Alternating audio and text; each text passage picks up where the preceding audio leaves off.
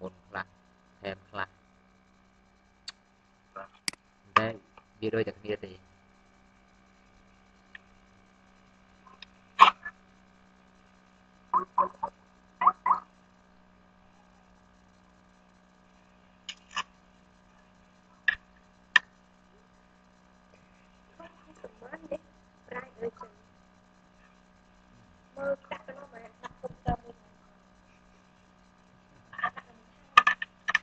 គេរៀនវាអត់ធំមកលឺទេ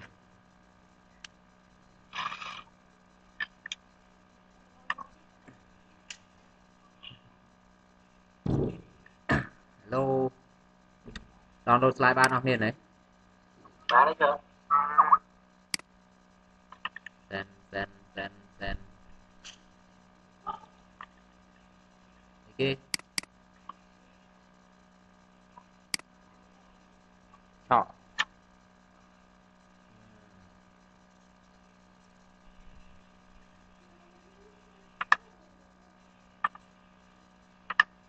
ចោះឥឡូវយើងរៀនរំលឹក ធ្វើសំសេចយើងបន្តិចចាប់បានចប់មេរៀន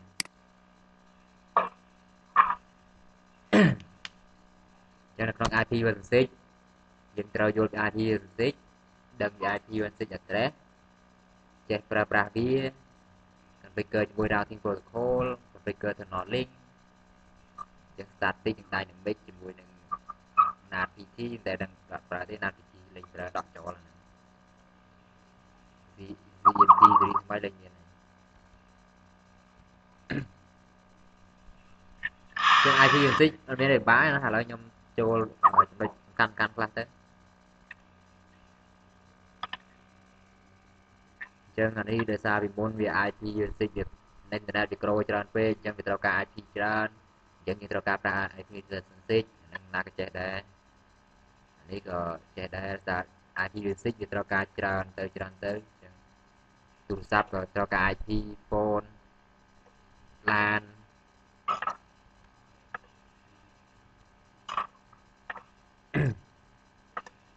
ចឹងថាឆ្នាំ2010ហ្នឹង IP អស់ហើយ except sheet install state តែដល់ឆ្នាំ2014ហ្នឹងគឺ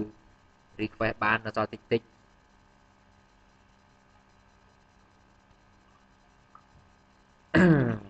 ចឹងពីបញ្ហាទៅទៅនឹង IP version 4ដោយសារ internet routing table យើងគឺយើងបន្ថែមកាន់តែច្រើនអញ្ចឹង IP version 4យើងមិនអាចគ្រប់គ្រងបានច្រើនទេហើយមួយទៀតទៅនឹង NAT អញ្ចឹងវាប៉ះពាល់ជាមួយ traffic ដូចជាអឺ VoIP VoIP យើងប្រើជាមួយ IP version 4ឲ្យសល្អអញ្ចឹងយើងត្រូវការ IP version 6ព្រោះ public to public អញ្ចឹងវា point to point អូខេនេះគឺជា feature របស់ IP version 6 like address space IP address វាច្រើនគឺ128 bit IP version 4តាម32 bit ទេ uh, eliminate the public to private NAT អញ្ចឹងគឺយើងកាត់បន្ថយ NAT ចោលចាំបាច់បកប្រែពី IP private ទៅ public ទេអញ្ចឹង IP version គឺ public ទាំងអស់មួយទៀតគឺ eliminate the broadcast address អញ្ចឹងគឺយើងកាត់បន្ថយ broadcast address គឺ IP version 6ដែលមាន broadcast address ហើយគឺមាន IP version គឺមានតា unicast multicast ហើយនិង anycast support mobility and security គេថាខ្លះគេអ្នកខ្លះច្រឡំថា mobility មានន័យថាម៉េច mobility ណាណាបញ្យល់បានមូលហេតុអីថា IP version 6 support mobility ឡើយនេះមានដឹងទេ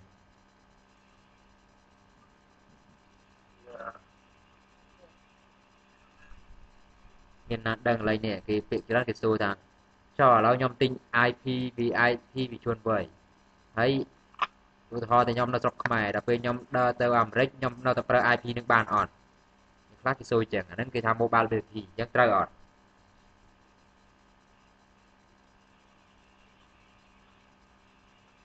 ចាំឡើយចុះដឹងទេទេណែណារ៉ាណារ៉ាចូលអត់ណា ណារ៉ាដូចខាត់ឈឹងហ៎ share screen អត់ចុះហ៎ share screen អត់ចុះ share screen ជើជើមាន share screen អត់ចុះ share តា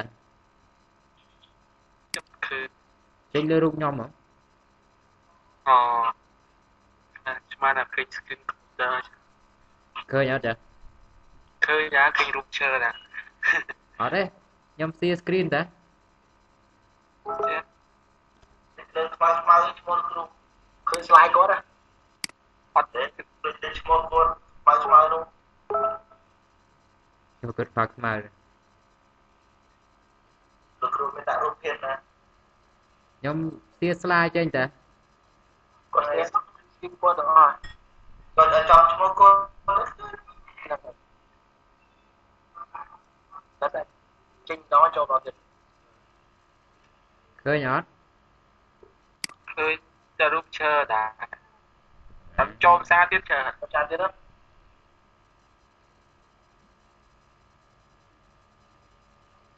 មួយខ្ញុំ share ម្ដងទៀត stop present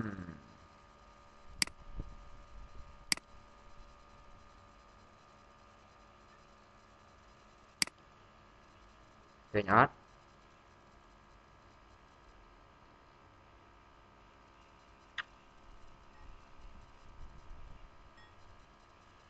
ចូលដល់តំណែងសុខអា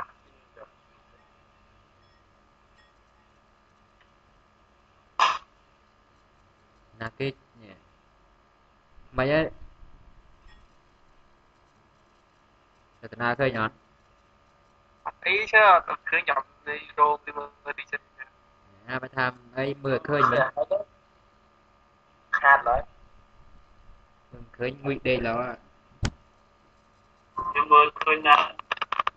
តអាបើថាអីមើលឃើញមើលខាតឡើយមិនឃើញមួយដេកឡើយខ្ញុំមើលឃើញណាក៏មើលឃើញដែរឃើញ slide រូបតោចុះឃើញរូបខ្លួនឯងអត់ចាបាទ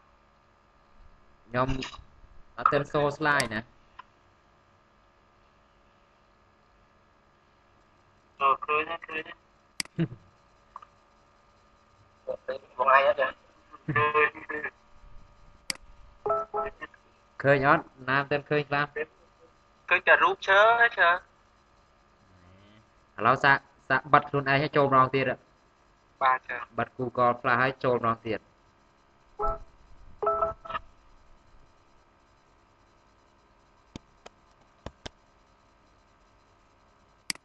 còn một bài nó ម្ដងទៀតហូបបាយមិនដល់ឡាយូរមែនអូនទៅបាំងដល់ហ្នឹងហូបបាយទៅយក bài យក nó vang bên một thằng nát rồi đấy យកកុំព្យូទ័រទៅទុកចិត្តទៅញ៉ាំបាយបដៅដា ប់តែសន្លេងសិនទៅបាត់តែម៉ូតទៅកងដាក់វីដេអូទៅអីយឺតពីមានហ្នឹង slow មិនរតនាឃើញអត់ rồi ឃើញហ៎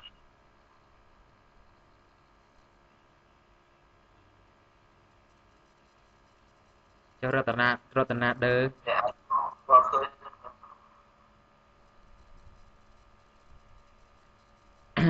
មកយាយ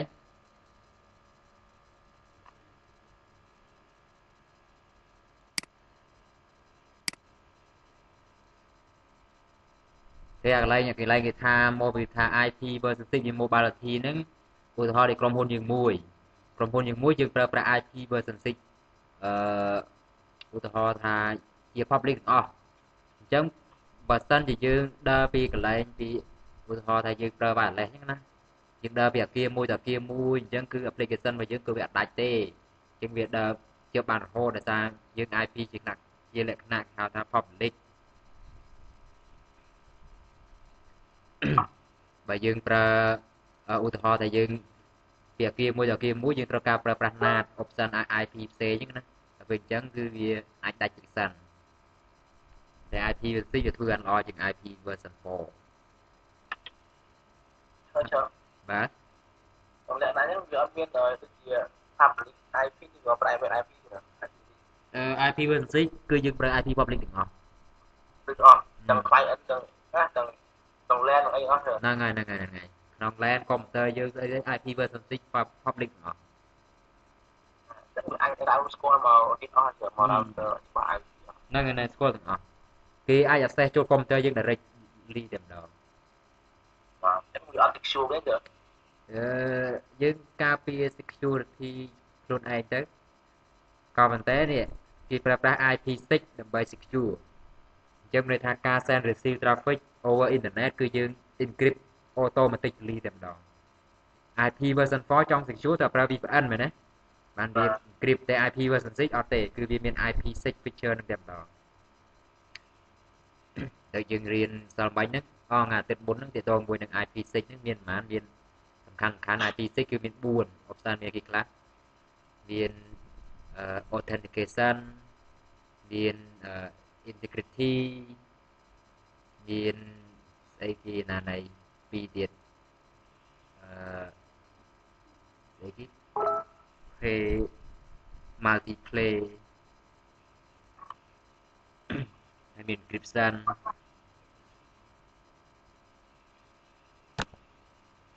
អូខេអានេះគឺទាក់ទងជាមួយនឹងប្រភេទ IP56 មាន3ប្រភេទហ្នឹងទី1ហៅ unicast unicast ហ្មង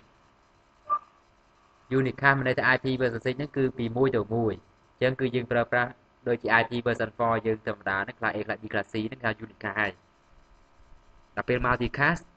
គឺយើងប្រើ one to many គឺសម្រាប់ video អឺ telepresence ឬក៏ multicast traffic anycast anycast គឺជា IP address មួយដែលប្រើពី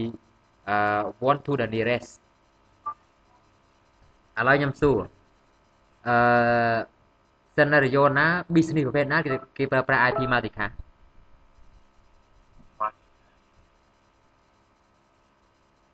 ប៊ីសនីសហឹមទៅអូត្រីនេះឥឡូវឧទាហរណ៍ក្រុមហ៊ុនណាដែលប្រើប្រាស់ multicast ក្រុមហ៊ុនអឺក្រុមហ៊ុនទូទូ ហ្នឹងហើយដូចទុំហ៊ុនទូរទស្សន៍អីគេប្រើ video streaming តែស្រុកខ្មែរយើងអត់ទាន់បាន implement ទេតែស្រុកគេគេមានណាដូចទូរទស្សន៍ដូច C អីគេ C CNN អីចឹងណាតាមអនឡាញយ៉ាងម៉េចហ្នឹងបើសិនឥឡូវមួយទៀតទាក់ទងនឹង Anycast អញ្ចឹង Anycast គេថា one to the nearest អញ្ចឹង Anycast ហ្នឹងគេប្រើបានប្រយោជន៍អីគេអាហ្នឹង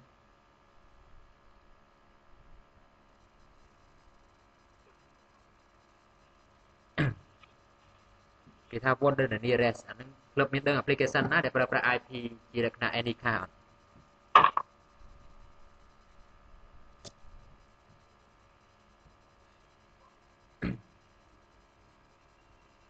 មានណាដឹងទេឥឡូវខ្ញុំឧទាហរណ៍មួយដូចយើង access Google Google ដល់ពេលយើង access នៅខ្មែរមូលហេតុអីវាចេញ load ដល់ google.com.ph វារកអា server ចិត្តច្រើនហ្នឹងហើយដល់យើង access Facebook អញ្ចឹង Facebook ឧទាហរណ៍ថាមាន server ណាដែលជិតយើងជាងគេគឺវាទៅរត់ point traffic ទៅ server ហ្នឹងឯងដែលជិតជាងគេអញ្ចឹងអាហ្នឹងគឺជាប្រភេទ multicast or anycast ហើយចំពោះ IP version ណាឧទាហរណ៍ថាយើង access Facebook Google អញ្ចឹង Google មានច្រើន server មានមាននៅអាមេរិកមាននៅហុងកុងមាននៅសិង្ហបុរីមាននៅខ្មែរមាននៅវៀតណាមនៅថៃណាអញ្ចឹងវាមើលថាយើង IP មកពីណា ហើយវាចាប់ដើមប្រត់សួរទៅ server មួយណាដែលនៅជិតជាងគេបំផុតអញ្ចឹង server នឹងជាអ្នករីឆ្លើយតបមកយើងអញ្ចឹងអានេះគេថាថា one to the nearest អានឹង IP indicator សំខាន់ណាស់ណាទៀតអានឹងគេធ្វើលើ server ហ្នឹង server គេធ្វើទៀតអាហ្នឹងធ្វើជាមួយ DNS ហ៎ អូខេអានេះមួយទៀត IP version 4 versus IP version 6អញ្ចឹង IP version 4គឺវាមាន field ច្រើនដែលយើងទៅកយើងរៀនថ្ងៃមុនហ្នឹងគឺមាន version សម្រាប់ dedicate ថាវាជា version 4ហើយអានេះគឺអឺអីគេទេ I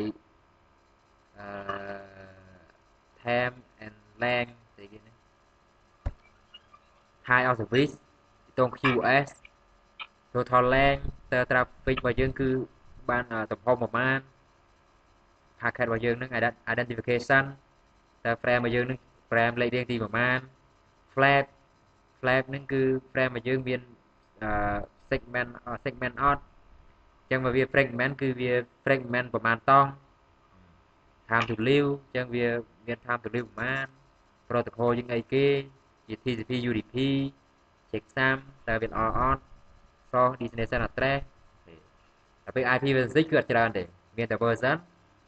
ហើយ traffic class traffic class ដូច Q ដូច Thai LCP អញ្ចឹងណា flowable flowable ហ្នឹងគឺសម្រាប់ទាក់ទងនឹង total length payload length អូខេ payload length នេះទាក់ទងជាមួយទំហំ packet របស់យើង nick header limit hop ដូចជាអឺ time to live source ហើយជាមួយនឹង destination អឺឥឡូវខ្ញុំឧទាហរណ៍ខ្ញុំមានអឺនៅក្នុង IP នៅក្នុង interface យើង support បានតែ MTU 1500ទេដល់ពេល IP version 6 header យើងគឺឧទាហរណ៍ packet នោះគឺទំហំ1600អញ្ចឹងវាធ្វើម៉េចវាត្រូវការ fragment ដែរអត់យល់ឡើយខ្ញុំសួរ ឧទាហរណ៍ថា interface យើង support បានតែ1500 byte ទេប៉ុន្តែដល់ពេល packet យើងគឺ IP56 packet យើងគឺទំហំ1700ចុះអញ្ចឹង router ធ្វើម៉េច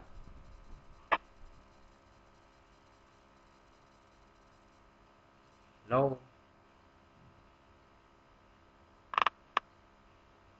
មិនណារ៉ា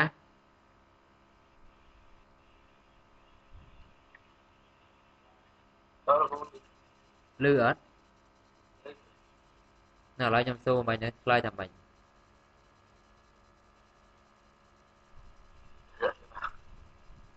ហ៎ខ្ញុំឡប់ទៅចូលបានអឺខ្ញុំសួរថាឧទាហរណ៍ router របស់យើងគឺ MTU វា support តែ1500 byte ទេក្នុង interface វាណាហើយ packet យើងទំហំ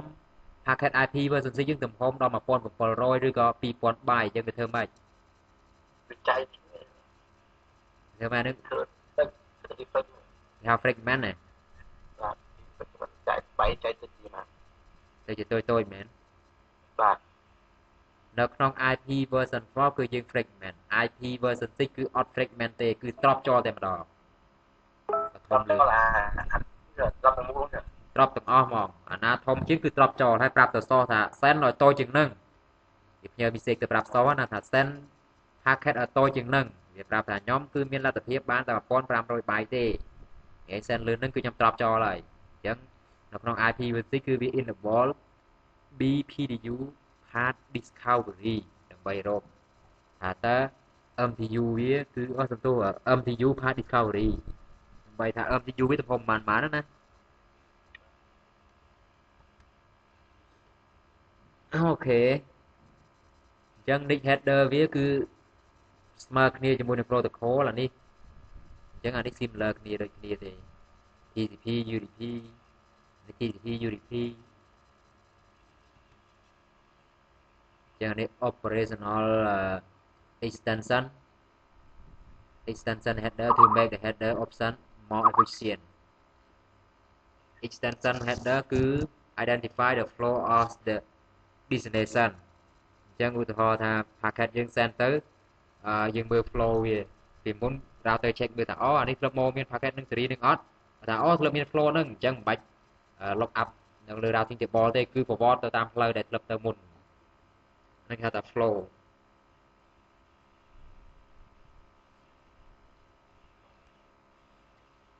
extension extension header គឺ multiple section header call chan may be included in IP version 6 packet the number of extension header is not fixed so the total length of the extension header chan variable អញ្ចឹង extension header ហ្នឹងគឺវាមាន section ច្រើនយើងមើលថា section ណាមួយត្រូវអូខេអញ្ចឹងយើងមើលតាម section អឺឧទាហរណ៍តែយើង clip send មួយទៅ Google អញ្ចឹងបើថាមាន traffic មក Google ទៀតអូខេអញ្ចឹងវាអត់ចាំបាច់លុកមើលនៅក្នុង routing table នឹង slow ទេគឺវា send ទៅ direct តែម្ដងហើយវាមើលបានវាសារដោយសារមើលលើលើ section header ណាមើល extensive extension header ណាដឹងថាវាមាន flow មុនអត់ចឹង extension header វាមានប្រមាណវាមាន order វាមាន1 2 3 4 5 6ចឹងមួយថា hop by hop header destination header routing header fragment header authentication អឺ header ជាមួយនឹង ESP header អាហ្នឹងវាមានច្រើនឧទាហរណ៍យើងប្រើជាលក្ខណៈ ping hop by hop destination option header គឺយើងទៅឧទាហរណ៍យើងចង់ flow តងជាមួយ address per destination per routing header តងជាមួយនឹង per route ឬក៏យើងធ្វើតាម VPN ឬក៏យើងអាចមើលតាម UDP ឬ TCP អានេះគឺសារវាធ្វើខ្លួនឯងទេនេះអ្វីគឺជាសំខាន់ខ្ញុំនិយាយបាញ់ហ្នឹងអឺ ដោយសារតែ IP version 6គឺវាអត់ធ្វើ fragment ទេអញ្ចឹងបើសិនជា packet ធំគឺវាត្រូវ drop ហើយអញ្ចឹងដើម្បីកុំឲ្យមានបញ្ហា drop គឺវាត្រូវការធ្វើគេហៅថា IP version 6 router អឺ MTU path discovery អញ្ចឹង MTU path discovery គឺដើម្បីដឹងថាតើផ្លូវពី source to destination ហ្នឹងគឺមាន MTU ប្រមាណដែលតូចជាងគេអញ្ចឹងបើដឹងថា MTU ណាដែលតូចជាងគេគឺវា send packet ឲ្យ ទៅតាមនៅ MTU ដែលតូចជាងគេហ្នឹងឧទាហរណ៍យើង1500គេតែ1400យើងមិនអាច send 1500បានទេគឺយើង send អត់ធំ1400អញ្ចឹងអឺ MTU discovery ហ្នឹងវាប្រើប្រាស់ IP protocol មួយឈ្មោះថា ICMP ដើម្បីស្វែងរក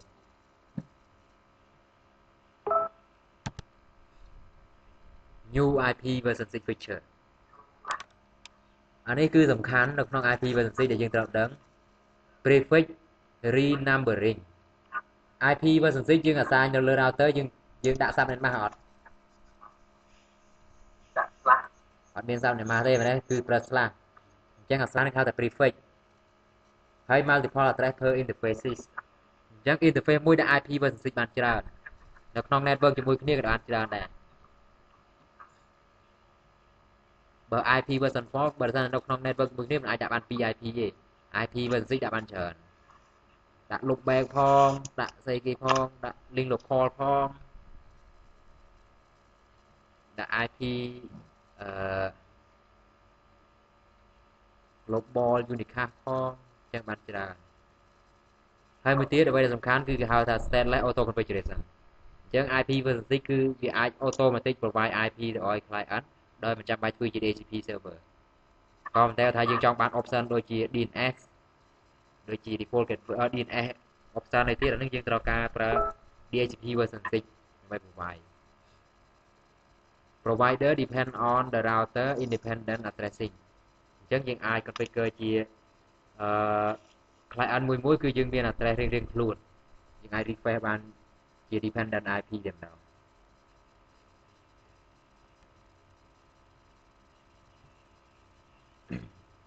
ហើយគេថា IP version 4 obstacle or obsolete អញ្ចឹង IP version 6 no longer disappear overnight ហើយ IP version 6អត់មានអាចអត់អាចបាត់បង់បានទេគឺមានច្រើនអញ្ចឹងយើងអាចប្រើបានទាំង IP version 4និង IP version 6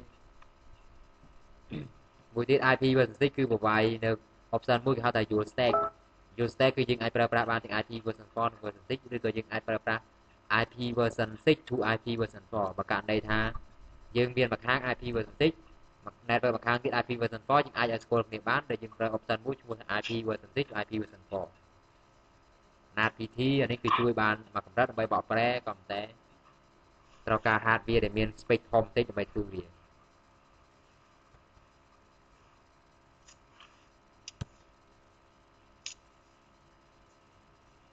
អូខេអានេះយើងមើលតាកតងជាមួយនឹងប្រសេសនៃការចែក IP អឺយើងដឹងថាតើនៅក្នុងពិភពលោក organization ណាដែលអ្នកគ្រប់គ្រង IP address ទាំងអស់ហឹម Ethernet គឺនៅក្នុងតា Asia Pacific ទេគេហៅថា region អញ្ចឹងអ្នកដែលគ្រប់គ្រងទាំងអស់គឺនេះ IANA Internet Address Number Authority internet address number authority អញ្ចឹងជាអ្នក provide IP ទាំងអស់អញ្ចឹងគាត់នឹងគឺមាន IP /16 /16 គាត់ចែកទៅឲ្យតាម one register space មានថាគាត់ចែកឲ្យតាម appendix តាមឲ្យគាត់ឲ្យទៅ /23 អញ្ចឹង /23 ហ្នឹងគឺអឺ region organization អាចផ្ដល់ទៅឲ្យ ISP មួយមួយបាន /32 អញ្ចឹងបើសិនជាយើងជា ISP យើងទៅ request បាន /32 បន្ទាប់មកទៀតបើសិនជា customer មក request ពីយើងគឺ customer អាចមានសិទ្ធិបានរហូតដល់48 class 48ហើយដល់ពេល customer យកទៅអាសាយនៅក្នុង LAN របស់គេគឺយកមក LAN គេឆ្លាស់64ទៅច្រើនណាឹងនេះគឺជា policy ដែលគេបង្កើតមកជាលក្ខណៈរួមប៉ុន្តែ policy នេះត្រូវបានយកទៅ modify រៀងៗខ្លួនតាម ISP មួយមួយ IP version 6 specification អូខេ IP version 6គឺ content of 8អឺ8គេ8 field ក្នុងមួយ field គឺមាន16 16 bit អញ្ចឹង8 18 16ដងគឺអត់16 8ដងគឺ128ហើយ IP វាគឺ separate ដោយ column ឧទាហរណ៍ខាងក្រោមអឺ ឥឡូវយើងមើលទាក់ទងជាមួយនឹង abbreviation abbreviation មានន័យថាគឺជាពាក្យកាត់វាមាន2វាទី1គឺ leading 0 leading 0មានន័យថាឲ្យតែមានលេខ0ខាងមុខគឺលុបចោលអានេះគេហៅ leading 0ណាឲ្យតែមានលេខ0ខាងមុខគឺយើងលុបចោលមួយទៀតយើងអាចប្រើអឺ p of column គឺយើងអាចប្រើ column 2បើសិនជាមាន0ច្រើននៅក្នុងអឺ field ឧទាហរណ៍ field 3ជាប់គ្នាមាន0ទាំងអស់ គឺយើងអាចចំនួនដោយ field 3ហ្នឹងដោយ double column ចឹងឧទាហរណ៍ដោយរូបនេះអញ្ចឹងអានេះគឺ leading 0គឺយើងលុប0ចោលទុក0 1អានេះគឺលុប0 2នឹងចោលគឺទៅជា double column អានេះ0នៅមុខលុប0នឹងចោលនឹង leading 0ណាអញ្ចឹងនេះ0 0អូខេអញ្ចឹងដល់ពេលបាន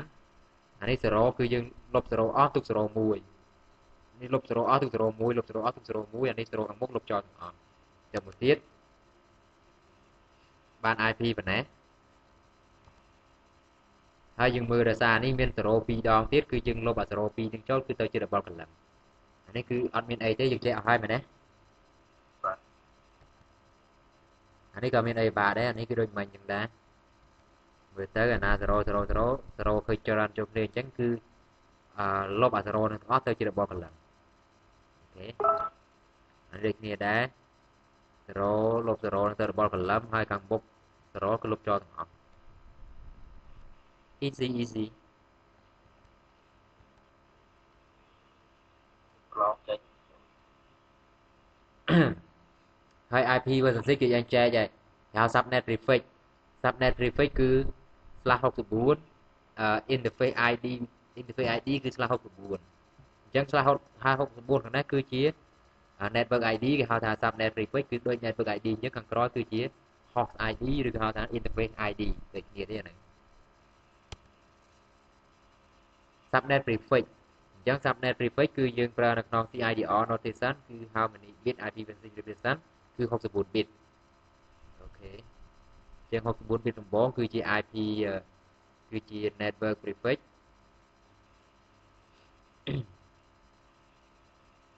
អានេះអត់មានអីបាក់ដែរ easy easy អានេះគឺជា standard ទេថាយើងចង់ deploy អីយើងអាចទៅមើលនៅ standard នេះទៅ RSC 3177 RSC អឺ24 62ដែលតជាមួយនឹង class slash auto configuration interface identifier IPv6 on the link must be unique អញ្ចឹង IPv6 គឺត្រូវតែ មួយមួយគឺខុសៗគ្នាទាំងអស់អឺ IPv6 យើងអាចប្រើប្រាស់ជាមួយនឹង routing layer 2 protocol ច្រើនមានដូចជា Ethernet ក៏ប្រើបាន point to point ADC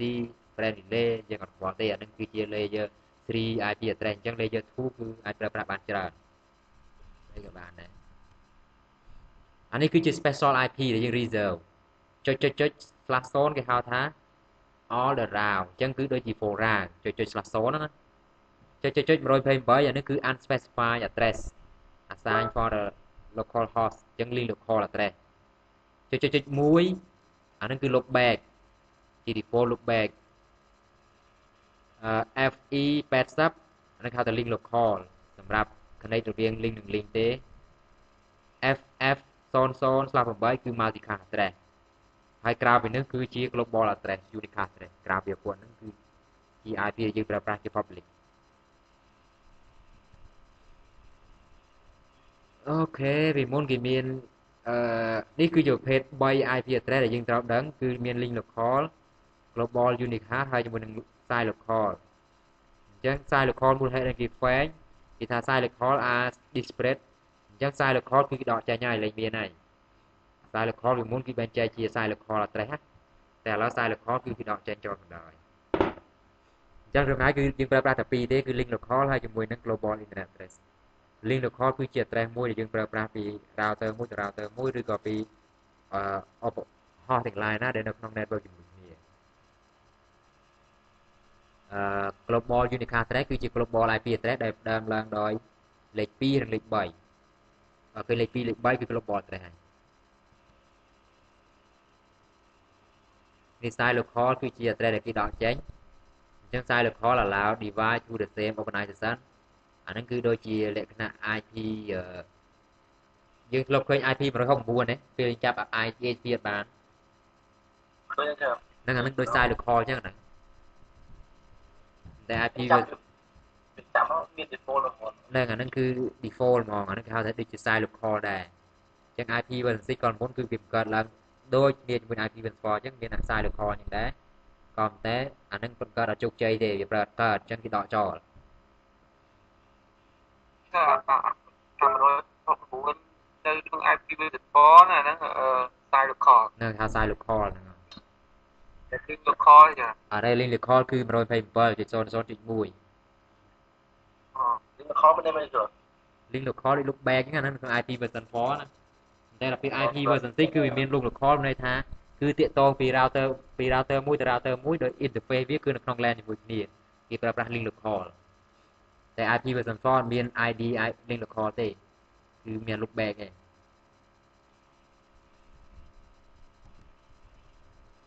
multiple IP address per interface I interface interface មួយដែល IP បានច្រើនមាន link local សម្រាប់តាកតងទៅនៅក្នុង local វាទេគឺពី router មួយទៅ router មួយនៅក្នុង local มันអាចឆ្លងកាត់ router ផ្សេងបានទេអឺ global unicast address គឺអាចប្រើប្រាស់នៅក្នុង internet router មួយបានអញ្ចឹង interface មួយអាច configure IP version 4ផង version 6ផងបានដូចគ្នានេះគឺជា IP address ជាលក្ខណៈ link local ដែលមាន FE80 យើងត្រូវចាំព្រោះក្នុងប្រឡងក៏មានសួរដែរ FE80 គឺគេ link local address អញ្ចឹង link local address are used automatically address configuration neighbor discovery router discovery and by many routing protocol អញ្ចឹងគឺអានេះវាប្រើប្រាស់ច្រើនណា link local neighbor discovery ផង router discovery ផង ហើយជាមួយនឹង routing protocol ក៏ប្រើប្រាស់ link local ជា neighbor ទៀត EIGRP OSPF អញ្ចឹងសារប្រើប្រាស់ link local BGP ក៏ប្រើប្រាស់ link local ដែរអញ្ចឹង network វាគឺ FE 80/10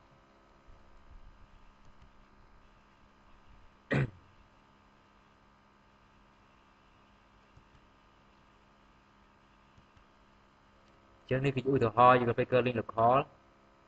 គឺយើងសូ interface loopback 100មួយមកគឺមាន link local នេះ link local ភាគច្រើនគឺវា automatic បូកជាមួយនឹង MAC address FE80 អញ្ចឹង MAC address របស់យើងប្រហែលនេះឧទាហរណ៍ MAC address របស់យើងមាន MAC address នេះក្នុងនេះ MAC address របស់យើងគឺនេះនេះគឺ MAC address FF 02អឺអានេះមែននេះ link local អញ្ចឹង MAC address ណាឧបករណ៍នេះអត់មាន MAC address ទៀតអញ្ចឹងពេលច្រើនអឺ link local គឺវា combine ជាមួយនឹង MAC address MAC address វាមាន10 48 bit អញ្ចឹង48 bit វាញែកអាកណ្ដាល48ហ្នឹងគឺវាបន្ថែមដោយ FF FE អានេះក៏យើងលឹបដឹងហើយដែរដែលមានអីបែបណា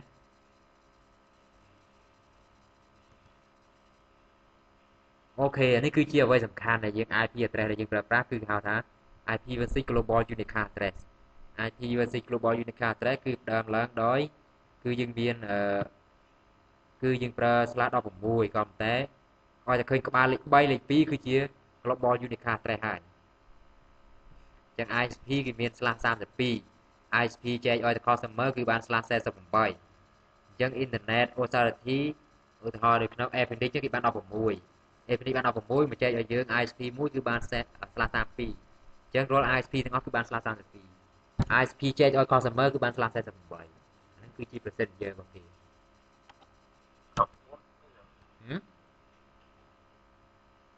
ខ្លាយគេថាមិន64ទេខ្លះ64ហ្នឹងគឺ client មួយ client មួយមួយយកទៅចែកក្នុង LAN គេទៀតក្នុងមួយ LAN គេបាន64ខ្លះ64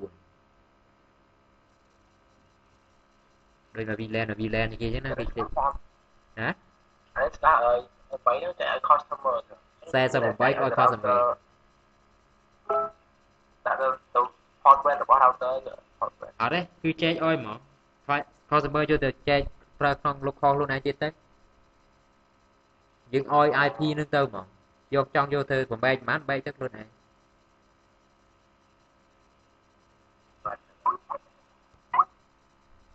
នេះគឺជា IP អឺ ជាប្រភេទ IP global ហ្នឹងគឺយើងមាន /48 គឺសម្រាប់ global routing privilege អញ្ចឹង48ហ្នឹងគឺវា accept អីទៅ ISP យើងចង់ advertise ទៅ ISP ទៅ upstream គឺ /48 គេ accept បានក៏ប៉ុន្តែបើយើង advertise /64 មាន accept ទេ /64 គឺជាអឺ interface ID អញ្ចឹងពីច្រើនសមមាន accept ទេ /64 ណាបើ /3 គេ accept ពី /48 ចុះក្រោមពីច្រើន យើងធ្វើ BGP យើងធ្វើ filter វាគឺយើង accept only /48 ចុះក្រោមខ្ញុំធ្វើ manually យកទៅឲ្យក៏វាធ្វើធ្វើលើ router យើង filter manually លើ router យើងធ្វើលើ route map ចាំយើងរៀន IP BGP យើងមាន route map រៀនអីយើងត្រូវដឹងចេះ filter វាអញ្ចឹង IP version 6 global unicast គឺវាផ្ដើមឡើងដោយលេខ3 00អឺ សំទោស2000គឺ003អញ្ចឹងមានន័យថាដើមឡើងដោយលេខ2និងលេខលេខ3តែពីរលេខហ្នឹងទេបើឃើញក្បាលលេខ2លេខ3គឺជា global IP address ហើយ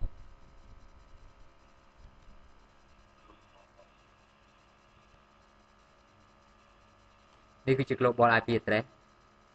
ដើមលើអក្សរ2001ជាងក្បាល2អញ្ចឹងគឺជា global IP address អឺ multi-cast IP address គឺជា address មួយដែលគេប្រើប្រាស់ក្នុង video streaming network អញ្ចឹងគឺវាផ្ដើមឡើងដោយ FF 00/8អញ្ចឹងឲ្យឃើញក្បាល FF 00ក្រោយហើយអត់ខ្វល់ទេប្រហែលក៏ដោយឲ្យឃើញ FF ខាងមុខគឺគឺជា multicast trace ហើយ FF 00/8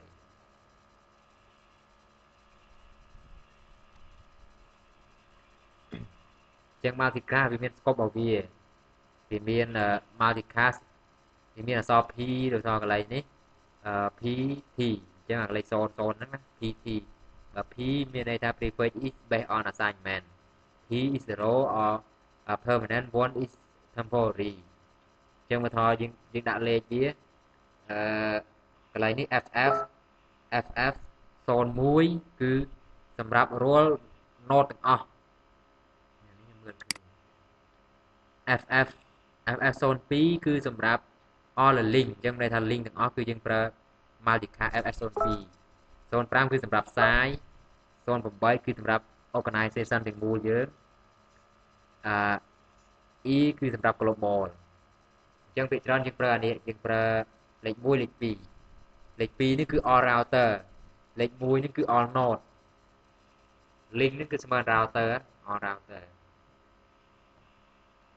លើគេសរសេរចឹងវាយើងឃើញសរសេរ FF 0អញ្ចឹងគឺជាប្រភេទគេហៅថាជា multicast network វាអញ្ចឹងឃើញនេះ FF 02អញ្ចឹងគឺសម្រាប់ជាលក្ខណៈអីគេគឺ all link នេះត្រេះនេះនេះគឺជា address ដែលយើងប្រើប្រាស់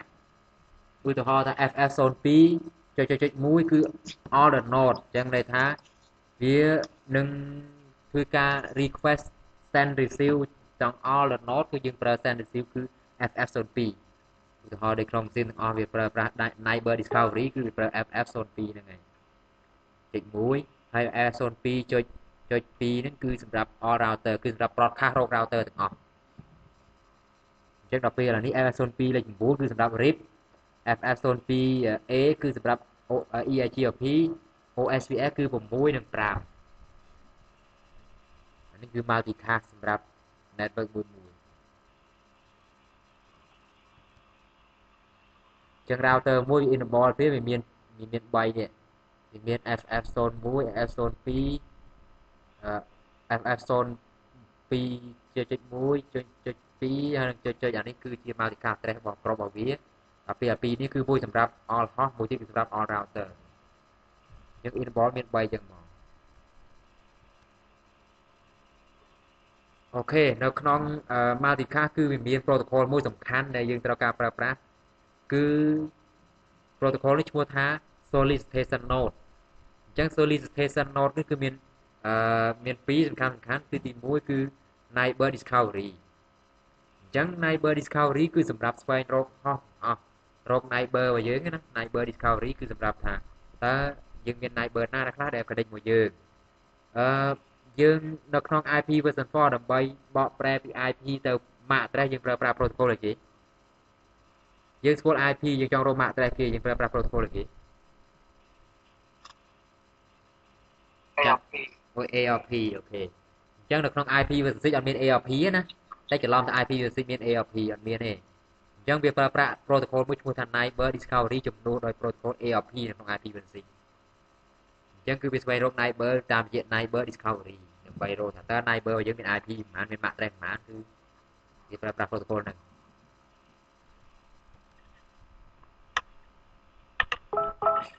អូខេឥឡូវយើងអឺនៅក្នុងនេះគឺមានពីរសំខាន់សំខាន់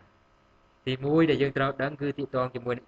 អឺ Neighbor Discovery ប្រើប្រាស់ protocol មួយឈ្មោះថា ICMP version version 6អញ្ចឹង Neighbor Discovery ហ្នឹងគឺមានពីរទី1គឺ Neighbor Discovery Neighbor Solicitation ហើយជាមួយនឹង Neighbor Advertisement មួយទៀតគឺ Router Solicitation ហើយនិង Router Advertisement អាពីរនេះខុសគ្នាមិនមួយប្រើដោយ router មួយប្រើដោយ node អញ្ចឹង neighbor solicitation គឺ send by the host to determine the link address layer អញ្ចឹងអឺឧទាហរណ៍យើងប្រើប្រាស់ router មួយដើម្បីបោះ IP automatic ទៅឲ្យ client អញ្ចឹងដើម្បីបោះ IP បាន client នឹងត្រូវ send message មួយឈ្មោះថា neighbor solicitation ដើម្បីទៅសុំ IP address ពេលសុំមកគឺ router ចាប់ផ្ដើមបោះ message មួយឈ្មោះថា router advertisement ដើម្បីបោះថាតើវាមាន prefix ប៉ុន្មានវាមាន IP ប៉ុន្មានបោះឲ្យ client ហើយ client ដើម្បីវា respond ឧទាហរណ៍បើសិនជាយើងនៅក្នុង host ពី host អឺបើសិនជាយើងតាកតងពី router ទៅទៅ host ឬក៏ពី host ទៅ router យើងប្រើប្រាស់ neighbor solicitation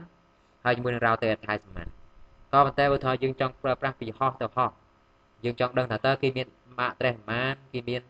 IP ប៉ុន្មានគឺយើងអាចផ្ញើ message មួយគឺ neighbor solicitation ហើយដល់ពេលគេឆ្លើយតបមកយើងវិញគឺគេប្រើប្រាស់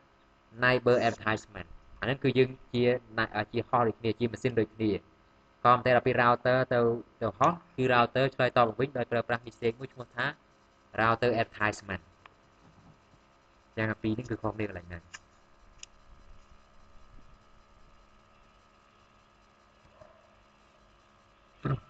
ចឹងឧទាហរណ៍ម៉ាស៊ីននេះពីម៉ាស៊ីនទៅម៉ាស៊ីនម៉ាស៊ីននេះគឺវាវាមានរបស់វាមាន IP លុបបែប link local ប៉ុណ្ណេះហើយវាចាប់ដើមសើផ្ញើទៅសួរម៉ាស៊ីន B ថា អូខេខ្ញុំមានព័ត៌មានប៉ុណ្ណេះអញ្ចឹងវា query row ហ្នឹងគេ present neighbor solicitation គឺដូច ARP អញ្ចឹងដើម្បីដឹងថាតើម៉ាស៊ីន B មាន IP ប៉ុន្មានមានប៉ុន្មានអញ្ចឹងនៅពេល IP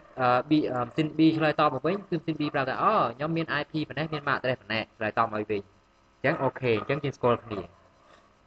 អានេះគេហៅថា neighbor solicitation ហើយជាមួយនឹង neighbor advertisement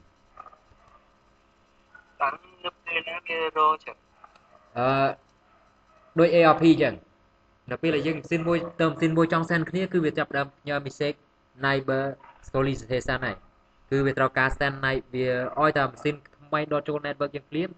គឺម៉ាស៊ីននឹងគឺចាប់ផ្ដើម send multicast message neighbor solicitation ដើម្បីស្វែងរកថាតើមានម៉ាស៊ីនណាខ្លះនៅក្នុង network ហ្នឹងដើម្បីវាស្គាល់គ្នាហើយបានវាអាច send traffic បានបើអត់ស្គាល់គ្នាទេគឺមិនអាច send message ទៅគ្នាទៅវិញទៅមកបានទេចូលហ្នឹងឃើញ switch អ្នកធ្វើការចុះហ៎ឃើញ switch អ្នកធ្វើការចុះអរេ switch អត់មានធ្វើការទេ switch គឺមានទូរនទីដើម្បីតែ learn MAC address ពីមួយទៅមួយដល់ពី percent ឆ្លងកាត់ទេអញ្ចឹង router គឺត្រូវមានអឺ database របស់វាដែរយើងអាច store message នៅក្នុង router របស់យើងគឺ store IP version neighbor នៅក្នុងម៉ាស៊ីនយើងប្រហែលជាមានដែរមើលទៅ IP version 6 neighbor ប្រហែលជាមានមាន table របស់វា ខ្ញុំសាកសូមមើលមានអត់ខ្ញុំ TMD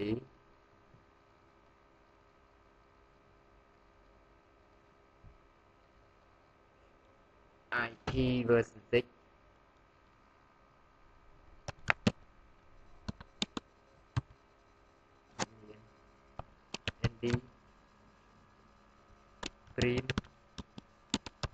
version 6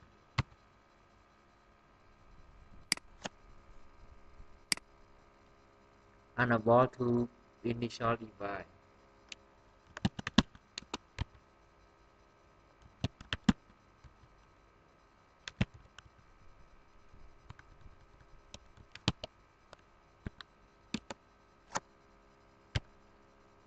ចំណុច command នៃគេទេនៅក្នុង router បាទខ្ញុំទៅធ្វើខ្ញុំដាក់មានបាទ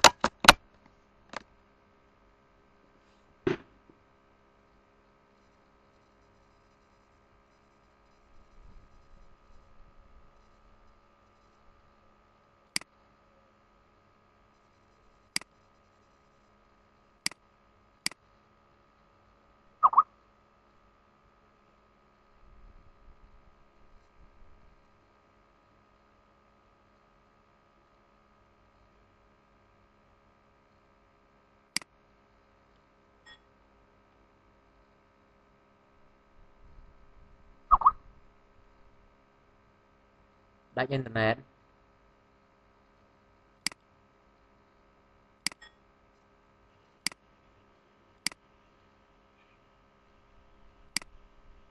7កុំព្យូទ័រចូលឡើងចូលឡើងដាច់អ៊ីនធឺណិត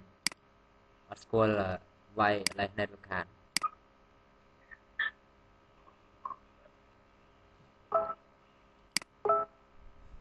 ឃើញវីដេអូរបស់យើង ឃើញតែឃើញផ្ទះ ឃើញហ៎អត់ដល់ពេញចូលផ្ទះ ទៀតដែរ ឃើញតែ ឃើញដែរ បាទបាទ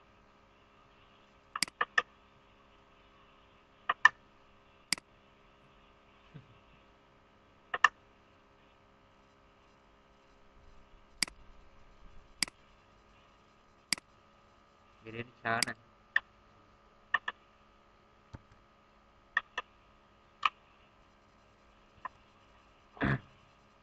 នច្រើនណាស់អានេះទាក់ទងជាមួយនឹង router ជាមួយនឹង client client ឬក៏ router និង router វាអាចប្រើ mistake មួយដើម្បីស្វែងរក neighbor គ្នាគឺវាប្រើប្រាស់អា router solicitation ហើយដល់ពេលគេឆ្លើយតបមកវិញគេប្រើប្រាស់ mistake ឈ្មោះថា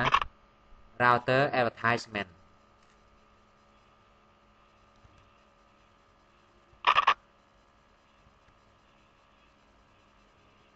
អូ ខេឥឡូវ feature មួយទៀតទាក់ទងជាមួយនឹងការ assign IP automatic ឲ្យ client អឺកុំព្យូទ័រនៅពេលដែលវាចង់បាន IP ស្នើសុំពី router វា send mistake មួយឈ្មោះថា neighbor solicitation ទៅទៅ router ពេលដែល router ទទួលបាន neighbor solicitation គឺ router send មកវិញគឺ mistake ឈ្មោះថា router advertisement ផ្ដល់នូវព័ត៌មាន prefix មក client ទៅ client ចាប់ផ្ដើម generate IP automatic មួយដែលយក prefix ចេញពី router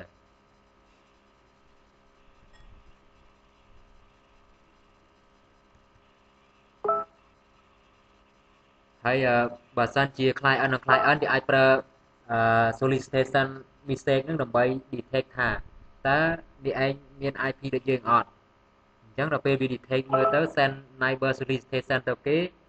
អញ្ចឹងបើថាគេអូខេគេឆ្លើយតបមកវិញគេថាអូ router ហ្នឹងគឺ IP ហ្នឹងអត់មានទាក់ទងគ្នាទេអញ្ចឹងគឺអត់អត់អីទេ IP អាចប្រើប្រាស់បានក៏តែបើសិនជា center ឃើញ duplicate IP គឺវានឹងចាប់ផ្ដើម change IP ភ្លាម ចឹងអា Neighbor Discovery នេះសំខាន់ណា protocol ហ្នឹង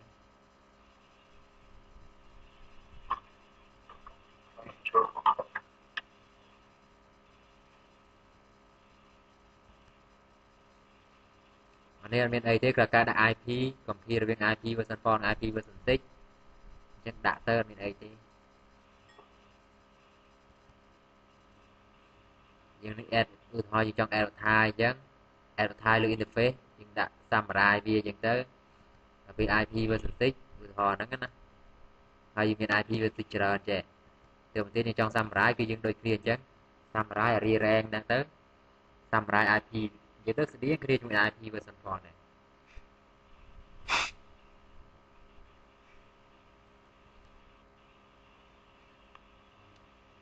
អូខេឥឡូវ basic configuration IP version 6មិញគឺតកតងជាមួយនឹងទ្រឹស្ដី អញ្ចឹងដល់ពេល configure វាក៏មានឲ្យបានដែរយើងសាកមើលតិចទៅ configure វានេះគឺជាការ configure IP version 6ចូលក្នុង interface គឺយើងអាច show IP version 6 interface brief គឺឃើញ IP version អស់ show IP version router គឺឃើញថាតើយើងមាន router ណាខ្លះដែលមាន learn ព័ត៌មានចេញពី IP version 6 so IP version 6 neighbor គឺយើងឃើញថាតើអឺតកតងជាមួយនឹង neighbor discovery គឺវាបានព័ត៌មានអីគេខ្លះហ្នឹង ដូច so ARP អញ្ចឹងនេះកន្លែងនេះបាទក្នុង router IP version 4គឺយើង so ARP តែ IP version 6គឺយើង so IP version 6 neighbor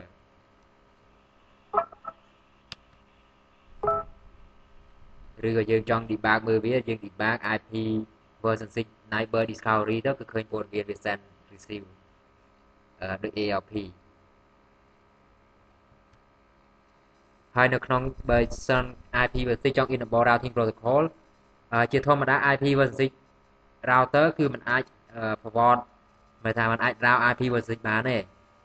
គ្រាន់តែយើង enable command មួយឈ្មោះថា IP version 6 unicast routing มันយើងអាចឲ្យ router នឹង forward traffic របស់ IP version 6បានបើអញ្ចឹងទេអត់អាច forward បានទេអានេះយើងធ្លាប់ធ្វើមែនទេមានណាមដែលបែកមិននេះឡូទៅណា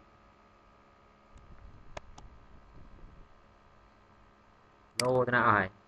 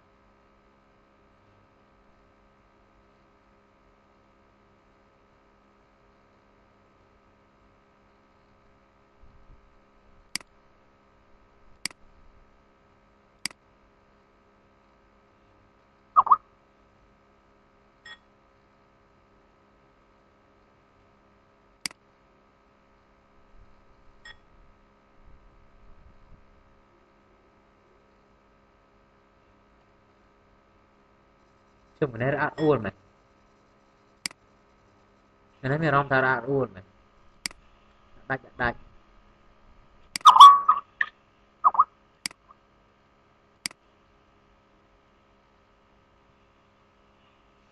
អ៊ីនធឺណិតយឺតពេកមែនដាច់ដាច់អឺ Think Google នៅ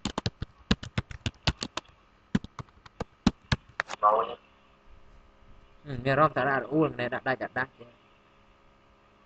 ងល់ Google delay មិនសូវច្រើនបានទេ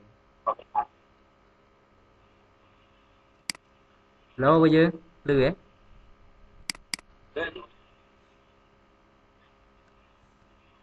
ឡូវខ្ញុំតបានតិចទៀតចុះអញ្ចឹង company យើងលើកធ្វើទាំងអស់គ្នា IP version 6ដើម្បី enable router យើងឲ្យប្រវត្តិ traffic IP version 6 គឺយើងវាយ command មួយឈ្មោះថា IP version unicast routing ដើម្បីណាដើម្បីដើម្បី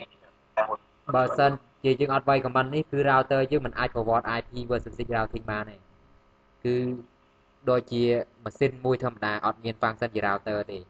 ទោះតែយើងវាយ comment នេះបាន router យើងខ្លាយជា function របស់ router សម្រាប់អាច forward traffic IP version 6បាន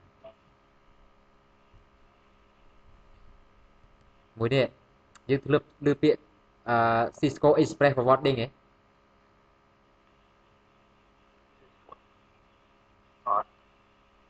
អឺនៅក្នុងនេះគឺពីមុនណាពីមុន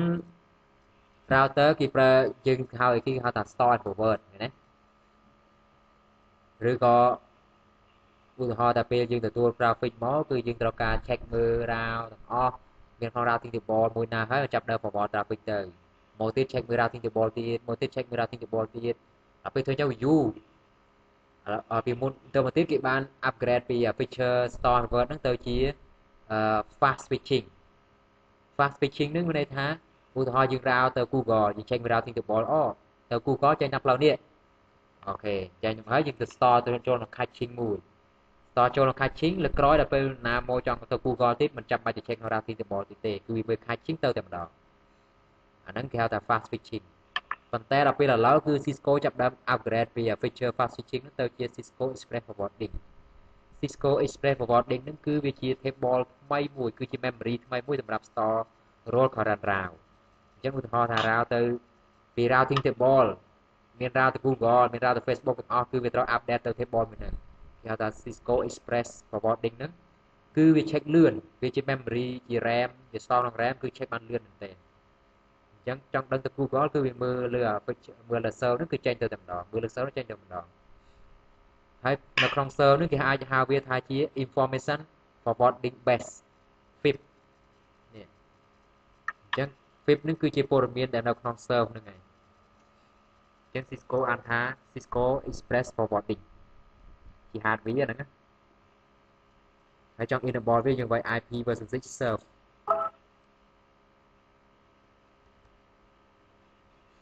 configure IP version 6អញ្ចឹងដើម្បី configure IP version 6ទី1គឺយើងត្រូវមាន IP unicast address agreement គឺយើងត្រូវ request ពីគេមក request មកហើយយើង IP យើងជាលក្ខណៈអីគេយើង IP ជា link local ជា link local ប្រើប្រាស់បានដូចគ្នាមានជា static dynamic ឬក៏យើងអាចប្រើប្រាស់ជា global routable address assignment អញ្ចឹងយើង address assignment គឺជា global IP address យើង assign បានទាំងពីរអញ្ចឹង assign បានទាំង IP link local បានទាំង global ក្នុង interface មួយយើងអាចទាំង static ឬក៏ dynamic អញ្ចឹងអាពីរនេះគឺយើងអាច configure បានទាំងពីរក្នុងពេលតែមួយអញ្ចឹង dynamic គឺយើងមាន stateless auto configuration គឺយើង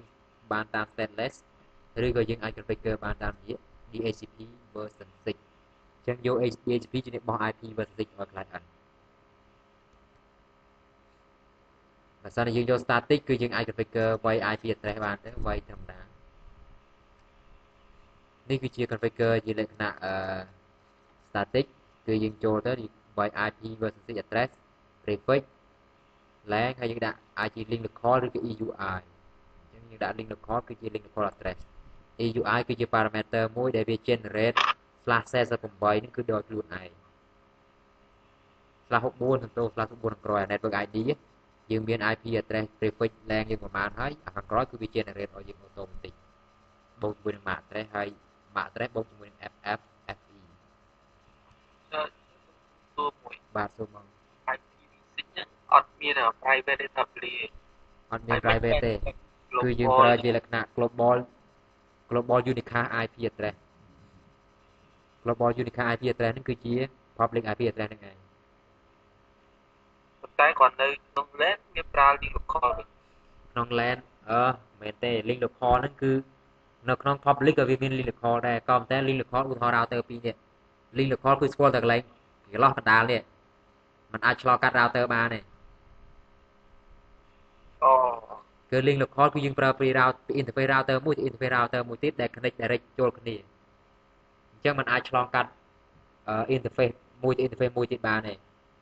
ឧទាហរណ៍ router លេខ1គឺតាក់ទង router លេខ2គឺ interface ដែល router លេខ1តាក់ទងទៅ interface router លេខ2គឺអាចប្រើប្រាស់ link local បានអញ្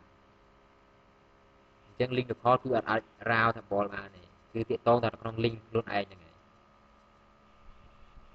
អញ្ចឹងឧទាហរណ៍ local សោះឲ្យស្អាតហ៎នេះលខស្លាស់ស្អែក8ហើយ link recall អត់មាន slash ទេ link recall គឺយើងទៅសេដាក់អញ្ចឹងហ្មងឧទាហរណ៍យើងសេ ff fe 80 g default វា slash 10 g default ណា អញ្ចឹងយើងអាចដាក់វាជា link recall អញ្ចឹងទៅគឺវាចេញជា link recall ឲ្យយើងអញ្ចឹងគេថា notice that the prefix smart is not required for link recall addresses because they not round អញ្ចឹងដែលថាវាចាំបាច់ប្រើម៉ាស់ទេដោយសារអីគឺ round អឺ link recall address ហ្នឹងគឺវាមិនអាច round ឆ្លងកាត់ router បានទេគឺសម្រាប់ប្រើក្នុង link ឯង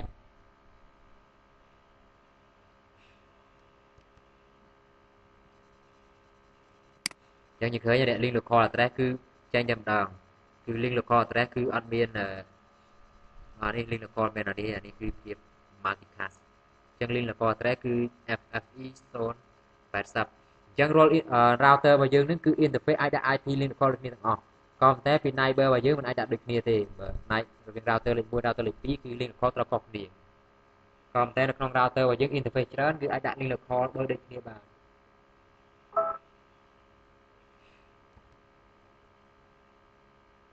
ចឹងអានេះគឺតកតងការ configure global IP address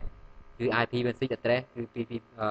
221យ៉ាងមក001/64នេះគឺជា IP version 6 global IP address អញ្ចឹងយើងដាក់ទៅយើងអាចសូមើលសូឃើញនេះគឺជា global unicast address វាប្រាប់យើងតែម្ដងហើយ link call ក៏ប្រាប់យើងដែរខាងក្រោមនេះគឺជា multicast address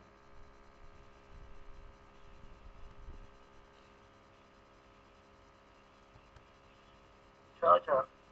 ់ស្ដែងជាមួយនឹង IP រាល់ IP បាទ compare ចុះយើងតែងតែនិយាយទៅ IP version 4តាមអ៊ីនធឺណិតពីមកទៅ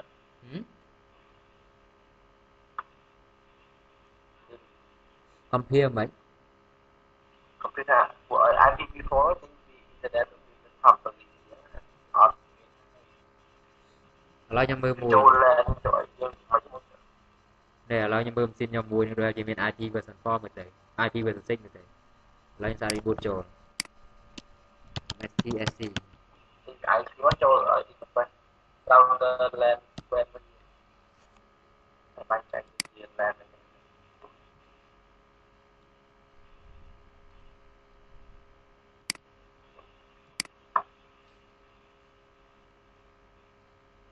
គេឥឡូវឧទាហរណ៍ខ្ញុំចូលមើលអឺម៉ាស៊ីនខ្ញុំនេះមួយ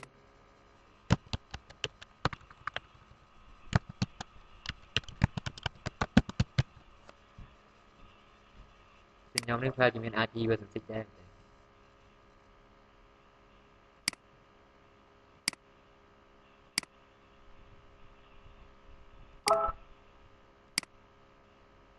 អូមាន IP version 6ផងខ្ញុំដាប់ចោលបាត់ហើយបើកវិញ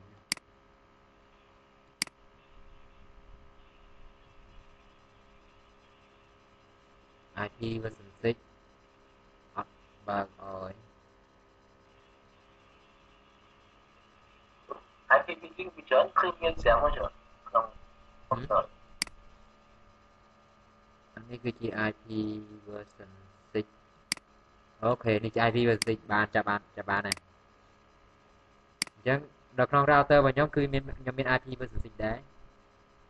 គឺនេះ IP version 6នេះគឺអឺគឺជា IP address មួយដែល router ខ្ញុំបោះឲ្យអញ្ចឹង IP 224នៅក្បាលលេខ2គឺជា public IP address ហើយហើយយើងចង់ដឹងយើងសាកឥឡូវខ្ញុំសាកដោយសារនេះថាអត់មានទៅអ៊ីនធឺណិតបានឥឡូវខ្ញុំសាកចូលទៅក្នុងអឺ router របស់ខ្ញុំហ្នឹងតើមាននេះអត់មាន IP វិញសិចអត់សាកយល់ណា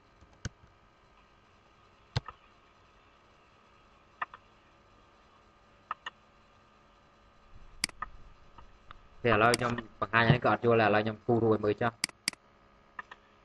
នេះគឺជាឧទាហរណ៍ scenario មួយ print plan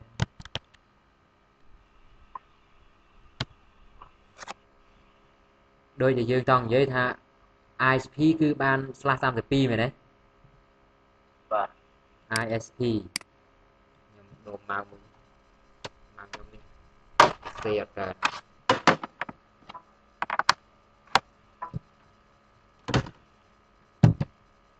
នេះគឺរឹងគ្រាន់ឧទាហរណ៍ ISP ISP ISP គឺគិតបានស្លាស់32ហើយគាត់អាចអោយទៅ customer របស់គាត់គាត់អោយទៅ customer របស់គាត់គឺបានស្លាស់តែ48អញ្ចឹងឧទាហរណ៍យើងមាន router មួយ router មួយ connect ទៅ ISP ISP ហើយយើងមាន LAN នៅក្នុងរបស់យើងបាទ connect មកឧទាហរណ៍មក switch មួយ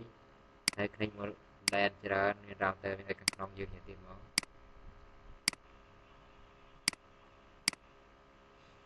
អញ្ចឹងឧទាហរណ៍ឥឡូវ ISP គេឲ្យ IP យើងប៉ុន្មានឡើយ តាមតាម គេ ឲ្យ slash 48តែមិន48នេះយើងយកទៅអាសាយនៅណាផត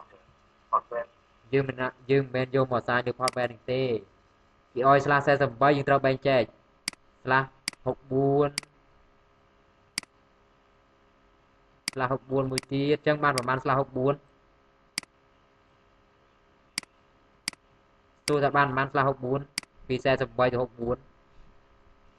48 64 16 bit មែនទេបាទ2សេគុណ16ប៉ុន្មាន2សេគុណ16គឺ65535មែនទេអញ្ចឹងសួរសួរថាមានប្រមាណអញ្ចឹងវាមាន6000 network ណោះអញ្ចឹងយើងយកមក network ស្លា64ដាក់កន្លែងនេះពី ISP មកយើងដាក់ស្លា64អញ្ចឹងយើងដាក់មក network នេះកន្លែងនេះទៀតគឺស្លា64ទៀត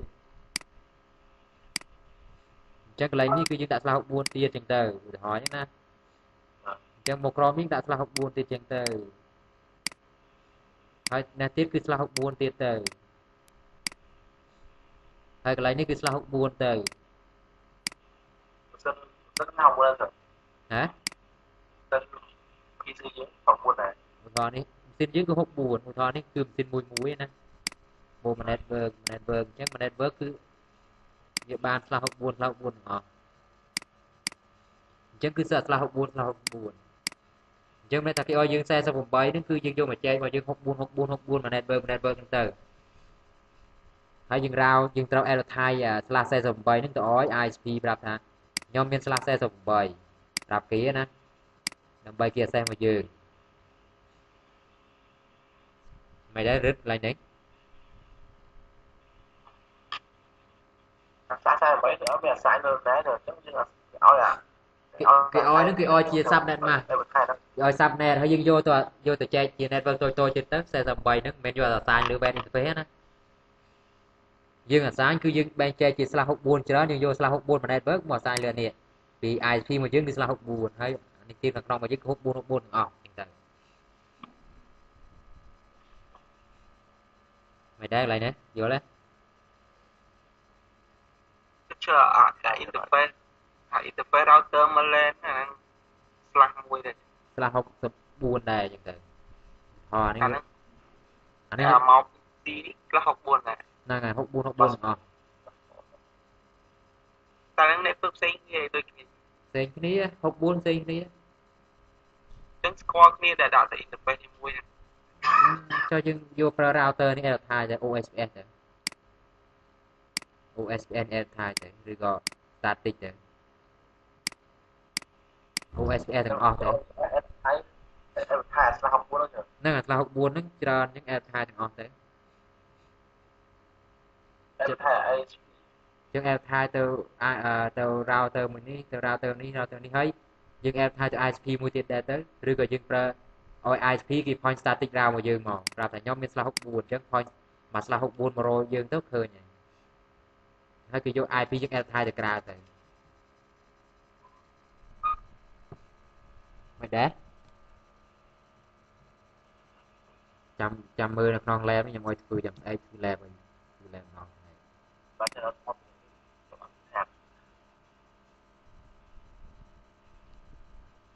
multiple address គឺ interface មួយដែល IP បានច្រើនណាដាក់បាន subnet ច្រើន នៅក្នុង IP version 4យើងដាក់បានច្រើនដែរតែយើងដាក់ជាលក្ខណៈគេហៅថា secondary ឬ primary តែ IP version 6ដាក់បាន primary ទាំងអស់ហើយនេះគឺជាប្រភេទ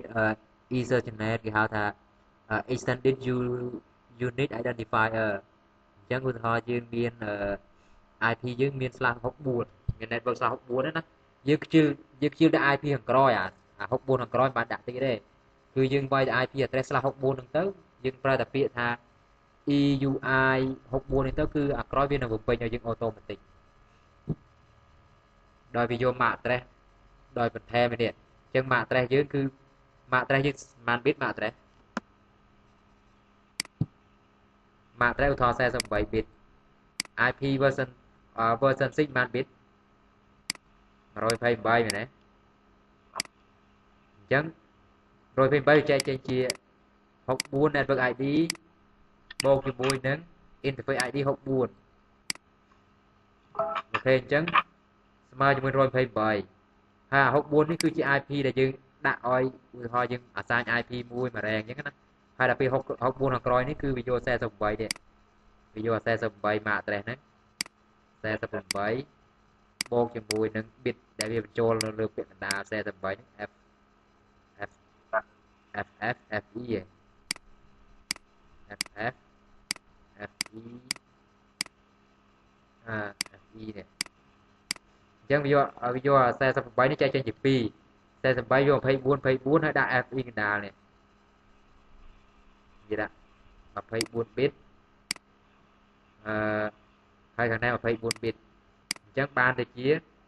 IP version 6ជាលក្ខណៈ EUI មើលស្លាយយើងក្រមនឹងជាប្រាប់យើង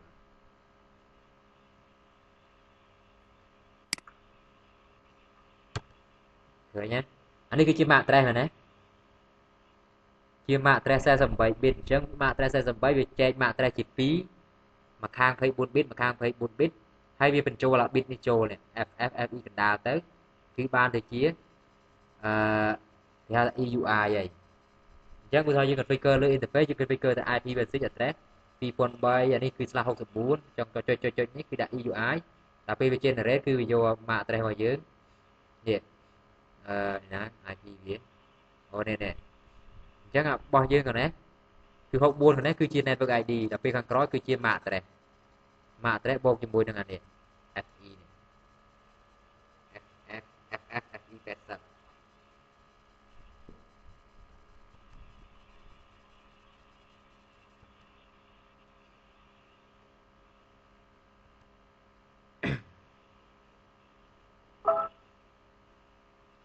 អានេះ unassign គឺយើងអាចឲ្យយក IP ពី IP ពី interface loopback បានឧទាហរណ៍យើងមាន IP IP version 6លើ interface loopback អញ្ចឹងយើងប្រើ configure នៅក្នុង serial របស់យើងថា unassign number loopback អញ្ចឹងទៅវាយក IP loopback មកប្រើប្រាស់តែម្ដងអានេះជាច្រើនគឺប្រើប្រាស់ក្នុង WAN